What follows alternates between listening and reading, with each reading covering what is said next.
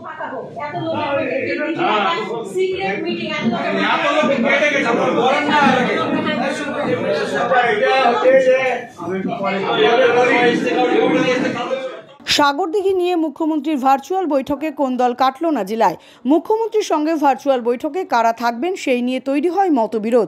বহরমপুর মুর্শিদাবাদ সাংগঠনিক জেলা তৃণমূলের চেয়ারম্যান বলেন, এখানে বিধায়ক সাংসদরা থাকবেন। কিন্তু সেই জায়গায় দলীয় অন্যান্য কর্মী জেলা তৃণমূল কংগ্রেস ভবনে ঢুকে যান।